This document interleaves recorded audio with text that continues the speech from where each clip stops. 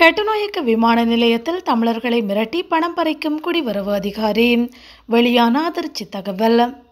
கட்டுநாயக்க விமான நிலைய குடிவரவு திணைக்களத்தில் பணிபுரியும் அதிகாரியொருவர் அங்கு வரும் பயணிகளை மிரட்டி பணம் பறிக்கும் மோசடி குறித்து தெரிய வந்துள்ளது.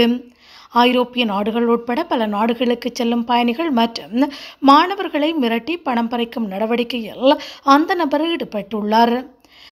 வெளிநாடு செல்ல வரும் நபர்களிடம் பல்வேறு காரணங்களை கூறி பாரிய அளவில் பணம் பறிப்பதாகவும் அவ்வாறு பணம் வழங்கவில்லை என்றால் வெளிநாடு செல்ல விடாமல் தடுத்து விடுவதாகவும் அச்சுறுத்தல் விடுப்பதாக குற்றச்சாட்டுக்கள் எழுந்துள்ளன.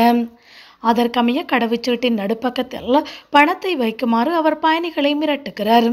இதற்கு முன்னர் வெளிநாடு சென்ற பலரிடம் இதே போன்று பணம் பறைத்துள்ளமையும் தெரிய வந்துள்ளது எந்த நாடுகளுக்கு செல்கின்றாரோ அந்த நாடுகளுக்கான நாணயத்தை வழங்குமாறு அச்சுறுத்துகின்றார்.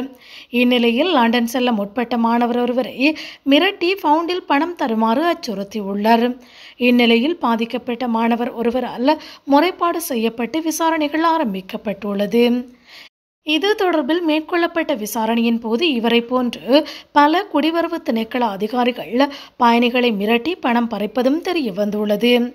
இவ்வாறான அதிகாரிகளை கையும் களமாக பிடிக்கும் முயற்சியில் விமான நிலைய குற்ற புலனாய்வு அதிகாரிகள் ஈடுபட்டுள்ளனர்.